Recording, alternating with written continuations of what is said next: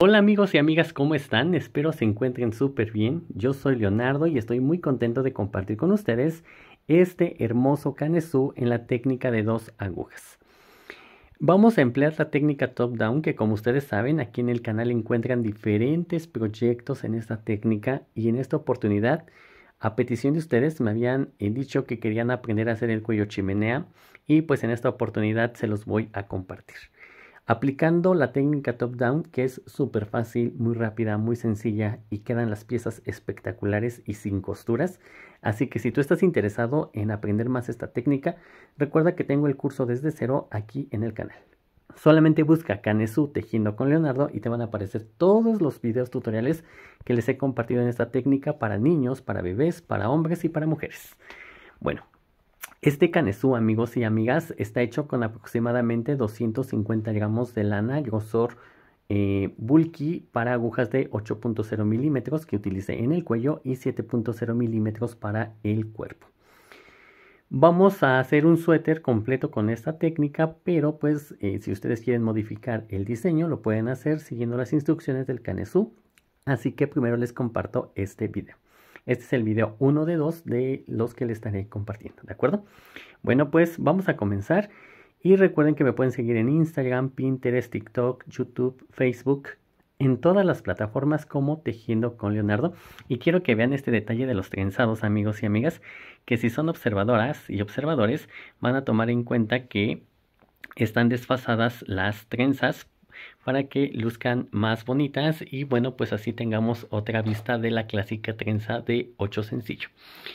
Va a estar muy bonito este proyecto, así que espero que lo dejan muy pronto y háganme saber en los comentarios si les ha gustado y si les gustaría ver más de este eh, estilo, más piezas, para que yo pueda subir el contenido a las redes. Así que comenzamos. Bien amigos, para este proyecto voy a empezar a trabajar con agujas de 8.0 milímetros u 11 en americano. Va a ser una talla eh, como M eh, la que voy a hacer, pero pues fácilmente pueden adaptar la talla según los aumentos. Entonces voy a empezar a trabajar, el múltiplo es de 7 puntos. Voy a trabajar el comienzo así, 1, 2, Tomen los, eh, la lana que estoy utilizando, es por wool de nuestros amigos de Tricot. Recuerden que ellos tienen envíos a toda la República. Dos y tres puntos. Estos tres primeros puntos los voy a tejer en punto del revés y los siguientes cuatro puntos los voy a tejer en derecho. Uno, dos, tres, y 4. Aquí está trabajado el primer motivo. Vuelvo a repetir. Tres puntos del revés. 1, 2, 3 y 4 puntos al derecho. 1, 2, 3 y 4. ¿De acuerdo? Así me voy a ir por toda esta fila. 1, 2, 3 y 4. 1, 2, 3 y 4. Hasta concluir. Bien amigos, una vez que tengamos esa primer fila, vamos a tejer 1, 2, 3, 4 y en la fila número 5 vamos a continuar con nuestro proyecto. Vamos a ir tejiendo así, cuatro derechos, tres revés, todas esas. En la quinta fila vamos a empezar, después de nuestro marcador donde iniciamos la fila, voy a separar dos puntos dejándolos por detrás de la aguja y voy a tejer los siguientes dos puntos. Ahora los puntos que dejé en espera los voy a retomar y voy a trabajar dos puntos en punto del derecho. Listo. Con esto amigos yo logré hacer el 8 sencillo que necesito. Ahora voy a trabajar 1, 2, 3 puntos en punto del revés y voy a separar con 4 puntos al derecho. 2, 3 y 4. Y nuevamente hago 3 puntos al revés y me toca trenzar. O sea amigos que yo tengo que hacer eh, una, en uno trenzo, en la otra dejo columna y así sucesivamente. Me voy a ir saltando una columna para que las trenzas no queden todas en el mismo eh, a la par, ¿de acuerdo? Sino que tengan eh, separación. Bien amigos, miren, una vez que yo termine de hacer esta fila, aquí va a coincidir un trenzado aquí y el otro trenzado aquí a la misma altura. No se preocupen que así va el modelo. Si de pronto ustedes no quisieran que coincidiera y que todo se viera como en espiral, bueno, pues entonces tendrán que agregar un motivo más, pero aquí mi diseño pues así se eh, lo quiero hacer. Entonces eh, no hay como que ya coincidió y hay un problema, no. Bueno, una vez que hagamos eso amigos, que terminemos, vamos a tejer otra fila y miren, voy a tejer una, dos, tres, cuatro, cinco, la sexta fila y en la séptima fila amigos voy a trabajar así. 1, 2, 3 puntos. Estos puntos los sigo tejiendo en punto del derecho. 2, 3, 4. 1, 2, 3. Y aquí amigos, ahora sí voy a trenzar nuevamente esta columna. ¿Con qué finalidad dejé yo eh, dos filas? Porque en una trencé en la quinta y en la otra en la séptima. Bueno, para que la trenza quede como escalonada y para que el cuello tenga un poquito más de amplitud en esta base y no quede todo tan eh, apelmazado. Con esto logramos que tenga otro efecto y que nos quede lo más prolijito posible este cuello. Y miren, así ya eh, tenemos diferentes alturas y bueno, pues visualmente luce súper, súper bien. Nuevamente separamos con los puntos que tengamos que separar y las columnas que no están trenzadas Vuelvo a dejar dos puntos en espera, trabajo dos puntos al derecho, uno, dos, dos puntos en espera, los tejo al derecho y así sucesivamente. O sea que básicamente cuando haga esta, esta trenzado no voy a hacer este y cuando después de terminar este trenzado voy a hacer una fila más y en la siguiente fila me toca hacer este trenzado. ¿De acuerdo? Así que eh, vayan, bueno, de hecho aquí es evidente, miren, porque se ve el desnivel que ya tenemos de la trenza. Vuelvo con ustedes para decirles cada cuántas filas estoy trenzando esta y cada cuántas filas estoy trenzando esta. Bien amigos, yo aquí ya estoy trenzando nuevamente. Estoy trenzando en la 10 y esta la voy a trenzar en la fila número 12. Cada, bueno, ambas trenzas amigos y amigas van a ir separadas solamente de cuatro filas y en las quintas voy a ir haciendo eh, mi trenzado. Solamente que esta se hace previamente y esta después porque recuerden que dejamos eh, una fila de separación y en la siguiente trenzamos. O sea que en la fila número 10, de, contando desde aquí 1, 2, 3, 4, 5, 6, 7, 8, 9 y 10, me toca trenzar y vamos a trenzar como pues ya les he compartido, esto es muy sencillo. Y en la fila número 12, por ejemplo, para esta eh, es donde voy a trenzar eh, nuevamente. Y en la siguiente voy a trenzar en la 15 y acá voy a trenzar en la 17 y así sucesivamente vamos a ir haciendo nuestro trenzado. Aquí miren, tengo que trenzar. Dejo dos puntos en espera por detrás de la labor, los dos puntos siguientes los tomo y estos dos puntos que, que tomé los voy a trabajar. ¿Listo? Y así nos vamos. En la 10, bueno, posteriormente, esta va a ser en la 12, en la 15, en la 17 y así sucesivamente, amigos. Entonces nos vemos más adelantito para seguir trabajando el proyecto. Mientras tanto, hagamos el trenzado. Recuerden, me encuentran en Instagram, Pinterest, TikTok, YouTube, Facebook en todas las plataformas como Tejiendo con Leonardo. Continuamos. Bien amigos, una vez que nosotros tengamos el alto necesario, en este caso son 18 centímetros los que yo trabajé. Ahí está, sin estirar obviamente, vamos a trabajar 5 eh, filas en punto musgo. Para esto recuerden que eh, estamos trabajando en circular, así que la primera fila la pueden hacer del derecho o del revés. En este caso yo la voy a hacer del revés. La segunda fila la voy a trabajar en punto del derecho. Y así sucesivamente vamos a ir trabajando. Vamos a hacer seis filas aproximadamente. Y con esto amigos y amigas vamos a lograr expandir ya el tejido.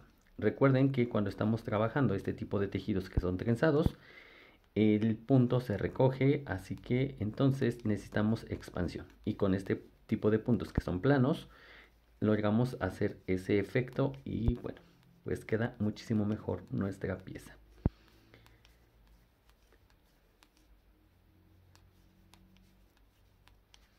Bueno, vamos a ir trabajando así, una fila del derecho, una fila del revés, hasta tener seis filas que serían equivalentes a tres de estos chinitos que se formaron aquí. Una vez que nosotros tengamos esas filas tejidas, vamos a hacer el cambio de agujas y voy a trabajar ahora con la aguja 6.0 milímetros. Este cambio de agujas, amigos y amigas, o de número de agujas, es importante que lo hagamos para que quede más recogido nuevamente el proyecto y vamos a empezar con la parte del cuello y por el estilo de diseño que estamos haciendo para que no se caiga. Obviamente vamos a necesitar eh, eh, utilizar ciertos eh, como tirantes para mayor seguridad, pero bueno, para que quede más prolija nuestra labor, vamos a hacerlo. Pueden cambiarlo en la última fila o en la penúltima, aquí en este caso que a mí me toca hacer del derecho, pueden hacerlo o directamente cuando empecemos a hacer el elástico, ¿de acuerdo? como ustedes lo quieran. Entonces aquí voy a hacer un elástico 3x3, voy a hacer 3 derechos y voy a hacer 3 puntos al revés. Nuevamente 3 derechos y 3 puntos al revés. O si lo prefieren pueden hacer 3, 2 amigos, 3 derechos, 2 revés, como ustedes eh, lo quieran hacer. Por ejemplo así, miren, que sería 1, ay se me cayó el marcador. Bueno. 1, 2, 3, 2 revés. Nuevamente. 1, 2, 3 y 2 revés. Así durante toda esta fila. El elástico 3 por 2. He terminado eh, 9 filas. A ver, 1, 2, 3, 4, 5, 6, 7, 8, 9 filas en elástico 1, 2, eh, 3 por 2. Si ustedes quieren hacer más, también se vale. Yo en este caso lo voy a dejar así y bueno. Ahora amigos, un paso muy sencillo pero muy importante es hacer lo siguiente. Voy a retirar por un momento mi marcador y voy a girar el tejido. Voy a voltearlo. Así. Voy a pasar la hebra por en medio del tejido o la madeja y listo, ya nada más lo volteé. Tiene que quedarme esto por el lado revés, así. Ahora, la lana está de este lado, entonces tengo que pasar este primer punto sin tejer, voy a enrollar la lana y voy a regresar este punto a su posición original. Y pongo el marcador. ¿Listo? Entonces les repito, volteé el tejido para quedar por el lado revés. Es, la lana quedó de este lado, paso este punto para esta aguja, enrollo regreso el punto de donde lo saqué y pongo mi marcador. Listo. De esta manera, amigos, ahora voy a trabajar, ahora no con las agujas 8 eh, milímetros, sino con las 7.0 para poder eh, continuar. Y aquí ya tengo las agujas 7.0, entonces voy a empezar a tejer todos los puntos en punto del derecho. Esta va a ser la primera fila. Se hace la fila de preparación, amigos, para poder empezar a distribuir mis puntos. Entonces, esta la voy a hacer con la aguja 7.0. Recuerden, trabajamos el cuello con 8, el, eh, esta parte que es otra parte del cuello con 7, con 6 milímetros y subimos ahora a las 7 para el resto del cuerpo.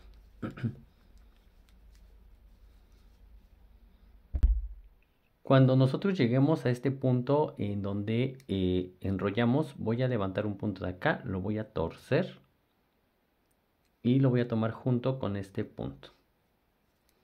De esta manera, amigos y amigas, logramos que quede lo más prolijo posible. Y aunque no va a ser visible, bueno, pues es importante que eh, quede bonito. Ahora volvemos a colocar nuestro marcador ya que hayamos puesto el marcador, ahora vamos a empezar a trabajar así. Atentos a lo que vamos a hacer amigos. Vamos a dejar 1, 2, 3, 4, 5, 6, 7, 8, 9, 10, 11, 12, 13, 14, 15, 16 puntos que van a funcionar para la primer parte de la espalda. Después del marcador 16 puntos. Enseguida amigos hacemos un aumento. Dejo dos puntos al derecho y hago un aumento. ¿De acuerdo? Pueden hacer así sus aumentos de entre punto o pueden ir aumentando así. Aumento agregado. 1, 2, aumento agregado, ahí está. Ahora para la manga vamos a dejar 1, 2, 3, 4, 5, 6, 7, 8, 9, 10, 11, 12, 13, 14, 15 y 16 puntos. Y nuevamente aumento, 2 puntos, aumento. Que es decir, aumento, 2 puntos, un aumento. Y ahora para el delantero voy a, trabajar con 33 puntos. 1, 2, 3, 4, 5, 6, 7, 8, 9, 10, 11, 12, 13, 14, 15, 16, 17, 18, 19, 20, 21, 22, 23, 24, 25, 26, 27, 28, 29, 30, 31, 32 y 33 puntos. Nuevamente vuelvo a hacer un aumento, una columna de 2 puntos, un aumento y 16 puntos. 1, 2, 3, 4, 5, 6, 7, 8, 9, 10, 11, 12, 13, 14, 15 y 16 puntos. Una vez más, aumento, una columna de dos puntos. Y en las columnas, amigos y amigas, pueden ir poniendo sus marcadores. Y recuerden que a mí me pueden seguir en Instagram, TikTok, Pinterest, YouTube, Facebook como Tejiendo con Leonardo. Y concluyo haciendo mi aumento. 1, 2, 3, 4, 5, 6, 7, 8, 9, 10, 11, 12, 13, 14, 15 y 16 puntos. Y a continuación está el marcador. De esta manera, amigos y amigas, ya logramos eh, trabajar la primera fila de nuestro canesú. Vamos con la fila de descanso y aquí es tejer todos los puntos con normalidad. Y recuerden poner el marcador en donde les, o la argolla, en donde está la primera columna, la segunda, la tercera y la cuarta para que no tengan inconveniente en identificarlas.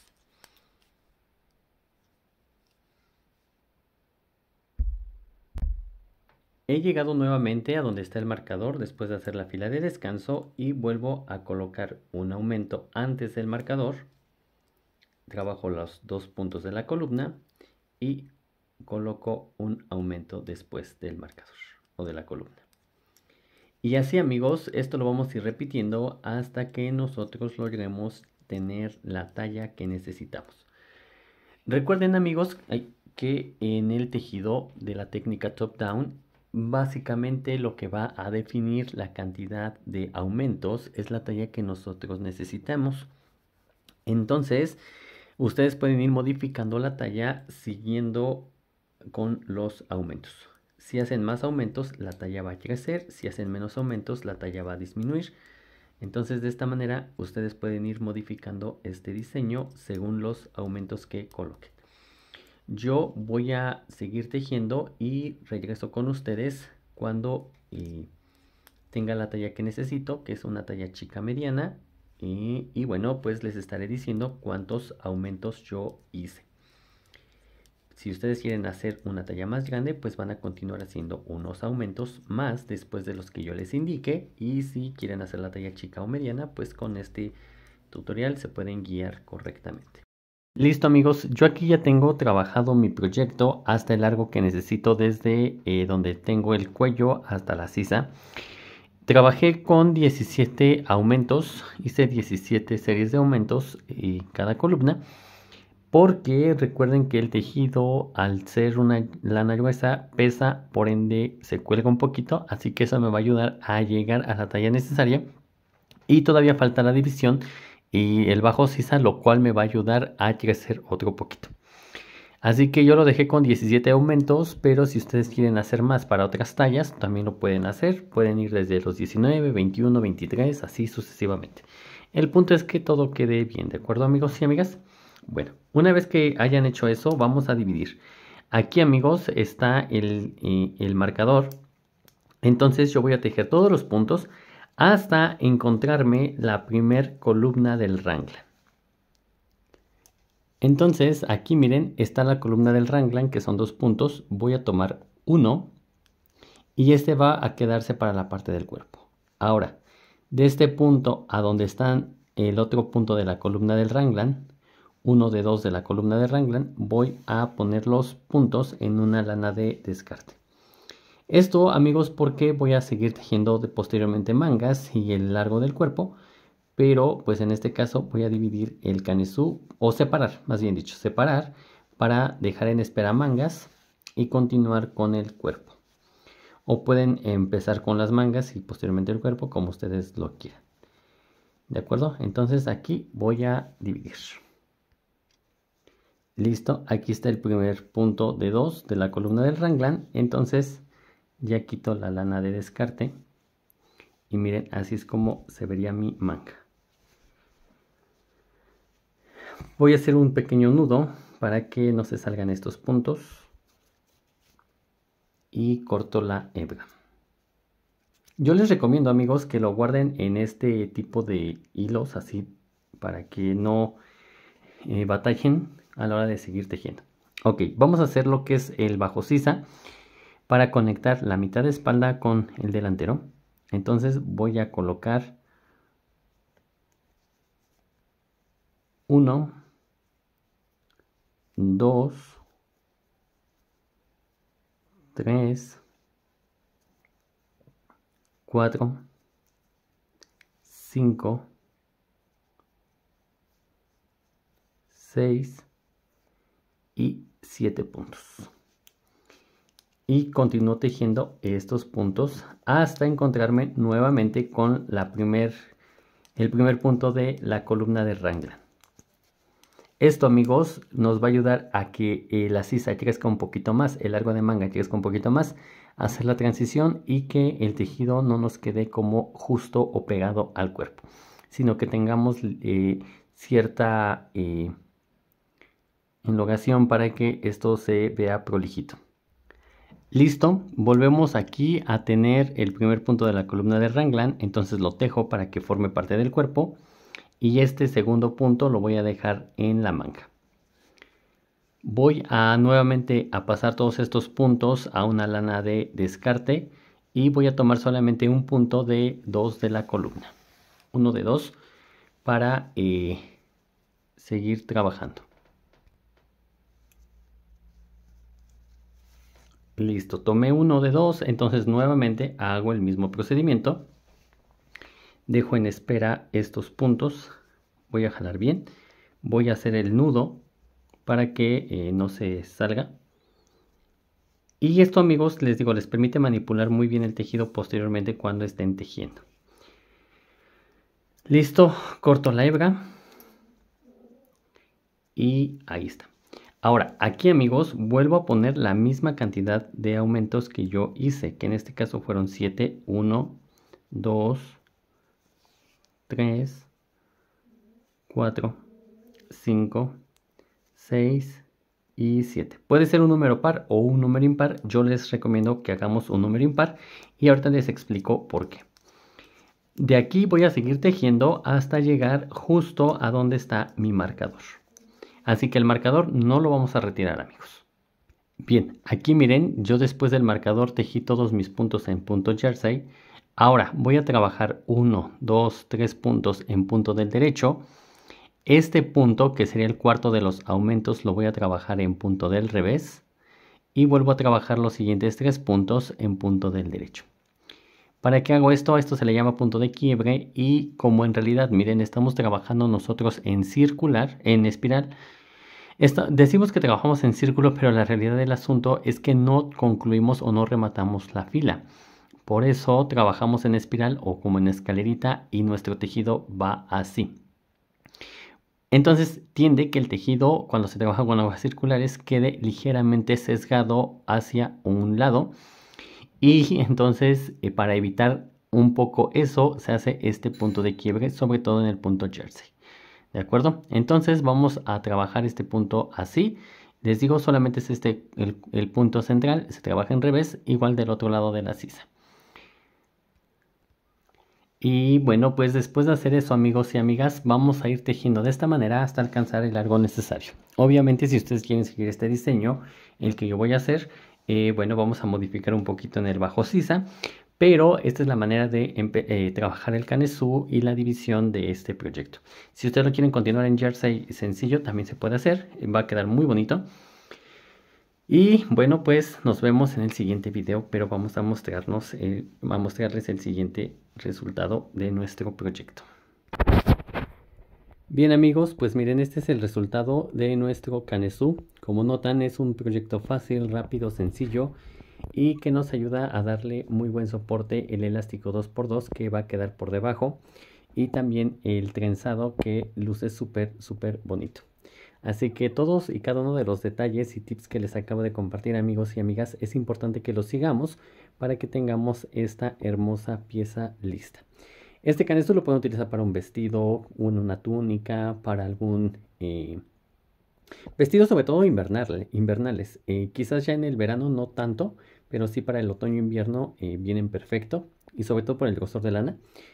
Este, para una capa, si dejan de hacer ustedes los aumentos o dejan de hacer la división, pues una capa puede funcionar. Un suéter, un suéter corto, bueno. Lo que ustedes se imaginen amigos y amigas lo van a poder tejer con estos hermosos canesús. Recuerden que aquí en el canal tenemos diferentes canesús, así que pongan canesú tejiendo con Leonardo y les va a aparecer toda la lista de reproducción de los que hemos subido al canal. Nos vemos en un siguiente video tutorial para continuar con este proyecto, si ustedes lo quieren hacer junto conmigo. Y si quieren hacer un diseño diferente, pues bueno, ya pueden seguir las instrucciones que en el canal encontramos para continuar con mangas y demás. Nos vemos en el siguiente video tutorial. Bye bye.